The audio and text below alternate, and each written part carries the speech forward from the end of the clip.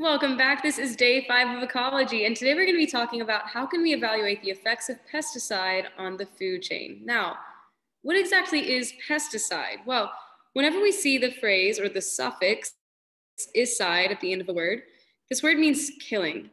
Okay, so we're killing something, but what exactly is a pest? Well, if you live in an apartment, about once a month, you probably have an exterminator come into your home and they're there as pest control. So, what is the job of the exterminator? Well, it's to kill tiny little pests in your home, like cockroaches or bugs or just insects in general. So, pesticides are talking about substances used to destroy insects or other organisms harmful to plants or to animals. So, pesticides are used pretty frequently um, in managing crops. I mean, you can see here in this picture, they're sprayed on those crops um, to prevent insects from getting up in there and eating the crops because they need to be sold to humans like us so we can eat them. And we can't eat them if the insects get there first.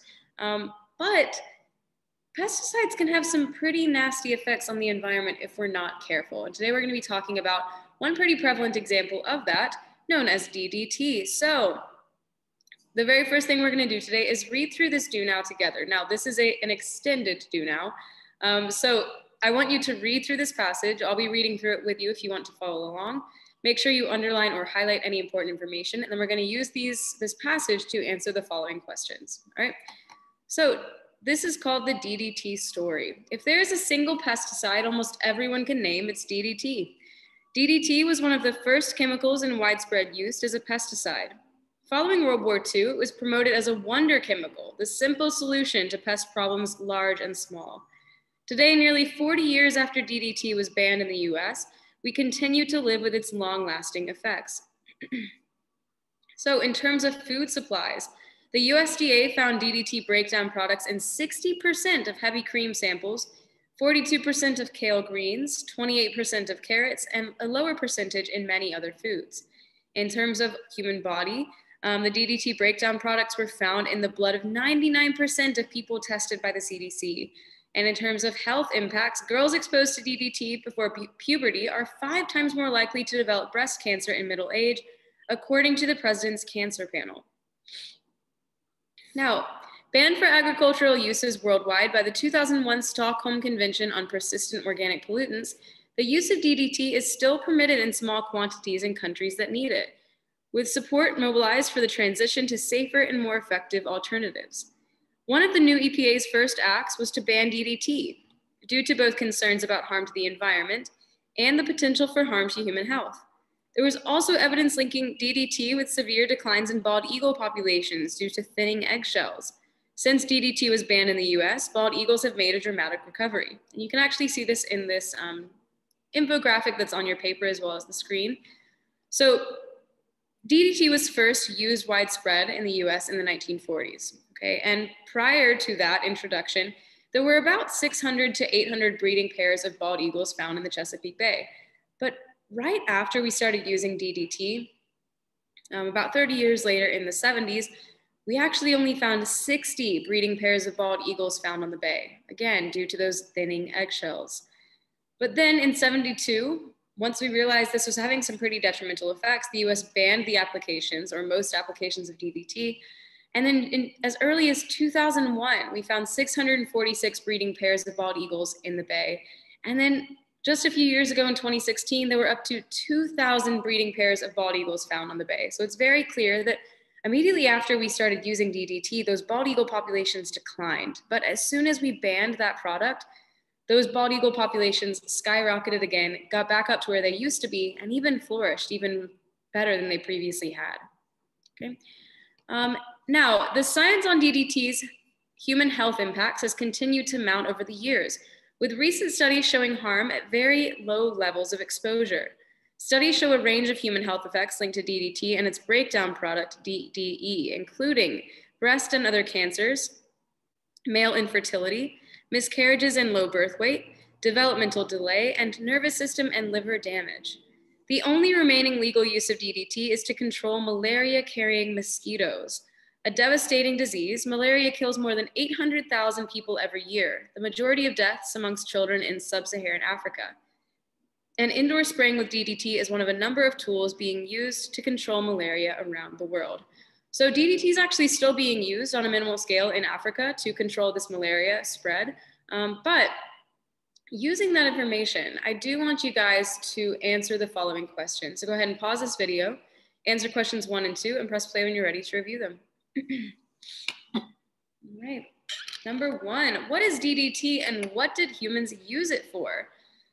Well, DDT is a pesticide that was really popular in the US in the 1940s, and it was used for pest control.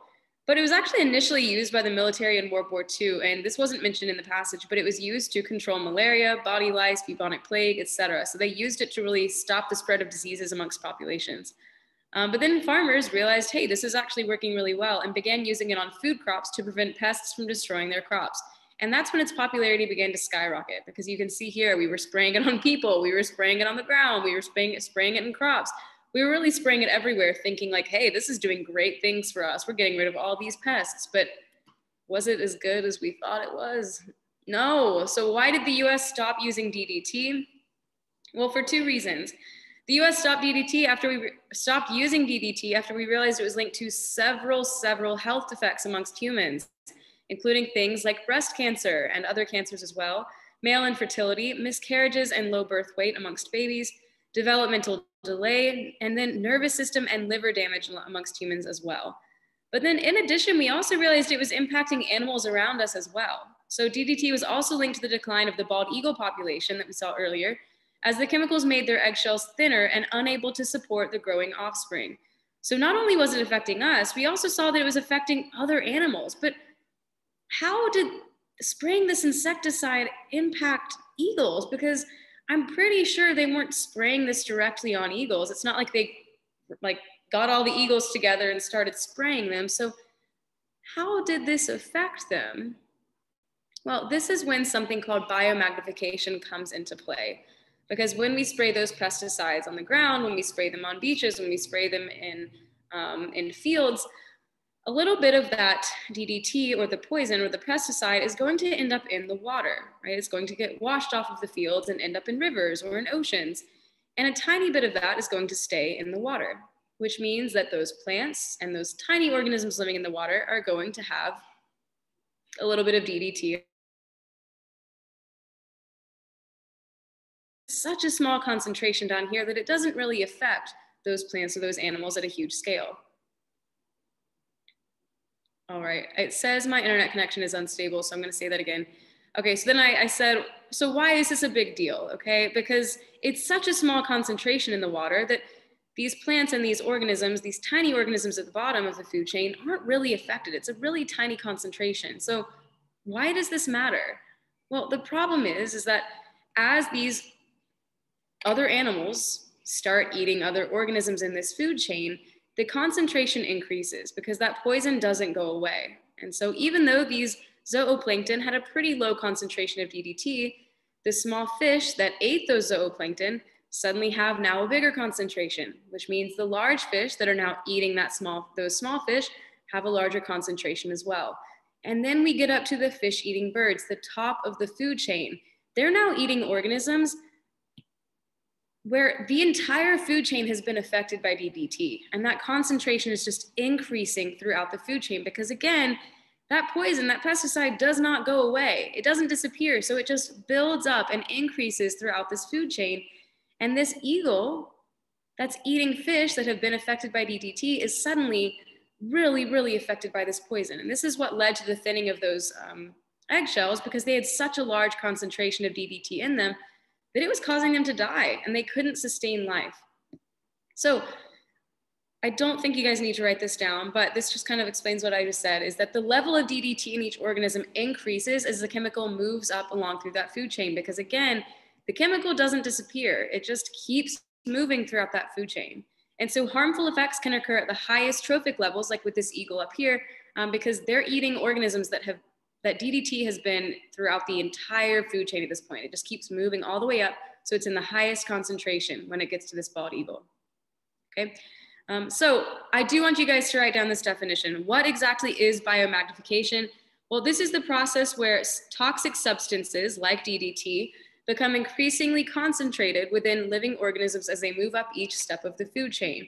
So again, even though the concentration is pretty low down here with the water and with the producers, as we move through the food chain, we see that that concentration increases by about 10 each time it goes up through the food chain. And we'll talk about that more in just a second.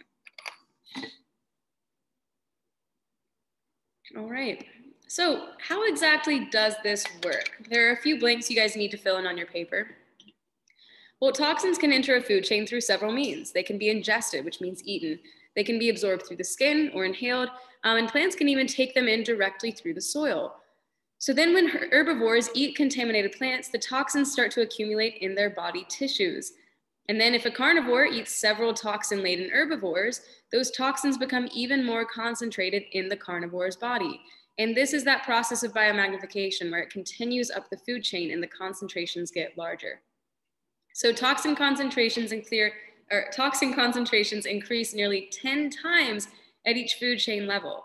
Thus, a biomagnifying toxin potentially becomes most harmful to those top predators, including humans who eat meat or fish. So we can be affected by this as well. But then why is this dangerous? So toxins can accumulate quickly through the food web, as each consumer takes in more and more of that toxin. Again, that toxin doesn't disappear, it's just going to continue to increase in concentration. So that means the larger animals in the higher trophic levels get the bigger doses of those accumulated, to accumulated toxins.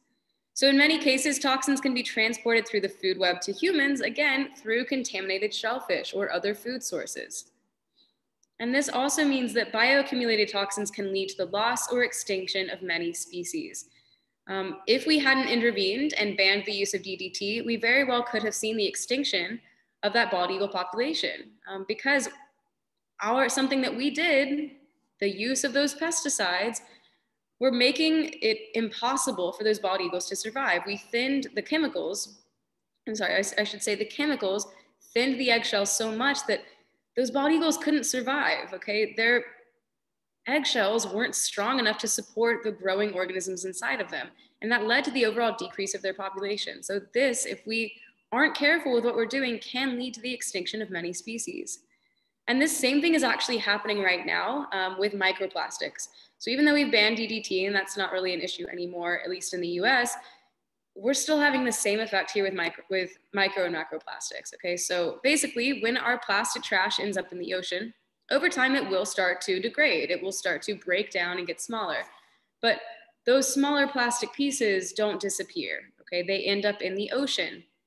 And so then organisms that eat in the ocean start to ingest these microplastics. You can see this right here, that even these small crabs and, fish, or, and shrimp are eating those microplastics, those really small pieces of plastic.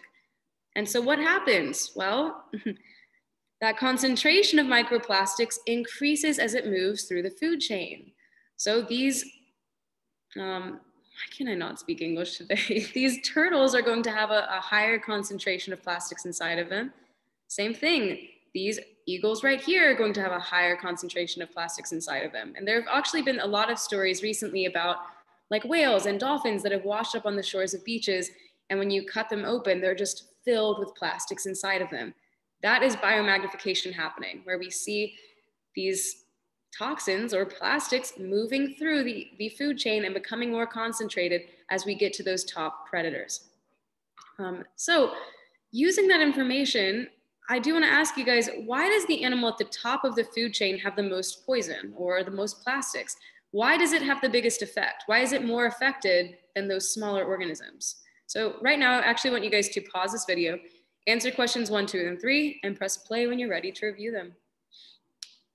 All right, so why are the animals at the top most affected?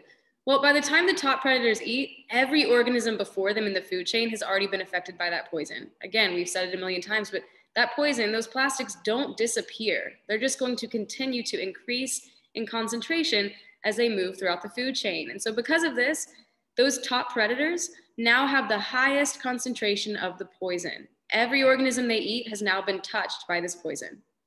Okay, but number two, why did the organisms at the bottom of the food chain not have the effect of the poison? Well, again, it goes back to those concentrations.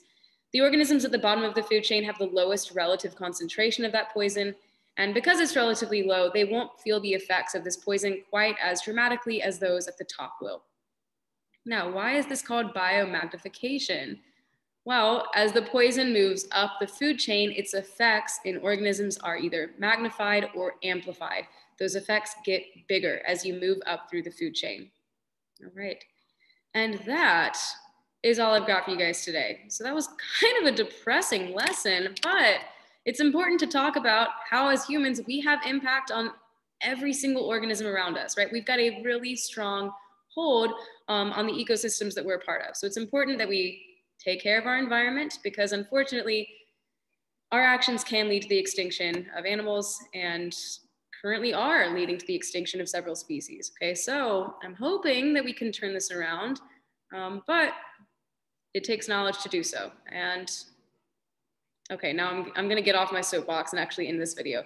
But um, please make sure you fill out your exit ticket. Um, have a wonderful day. And please let me know if you have any questions about this. Okay. Have a wonderful day, and I will see you all tomorrow.